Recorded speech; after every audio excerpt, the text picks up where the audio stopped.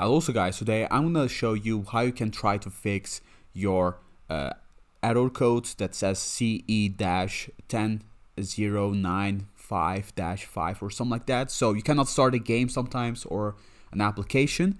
So I'm gonna show you some couple ways how you can fix this and let's start it off. First of all guys, what I recommend you guys to do is the most simple fix, the most basic fix is go over the power and restart your PS5.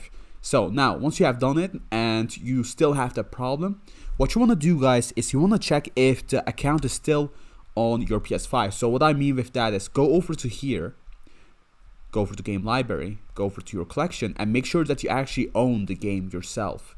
So basically if you have removed uh, removed the account that owns the game and it's already downloaded, you will not be able to access it. Or what you can also do is if it's already on the account guys, if you added it back now, and you can also go over to settings so that's on our fix too. Go over to users and accounts. And once you're in here guys go over to others go over to console sharing and offline play. And you want to enable your ps5 as primary. So what i recommend you guys to do is do this on the most important account. I'm going to show you that later. So let's go over to restore license right over here and also restore the licenses. So once you enable your ps5 as primary and also restore the licenses let's go back so if it still doesn't work out guys, what you want to do is you want to go ahead and log out from this account and you want to go to another account. So if you have like a more important account, let's just say that this account over here actually owns the game that I want to play and I cannot play it on here. So then you can actually try to do it also on here. So you can try to restore licenses, you can try to set play as 5 as your primary and stuff like that on this account too. So that's also an option.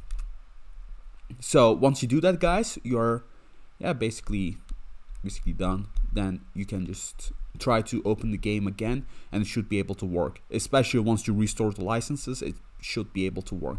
Now, not only that, you want to also make sure, guys, this is a problem that I had. So I actually did all of them, but for some type of reason, it just didn't work. And the problem was basically that my network was not on. So I had this problem also about a year or two ago too.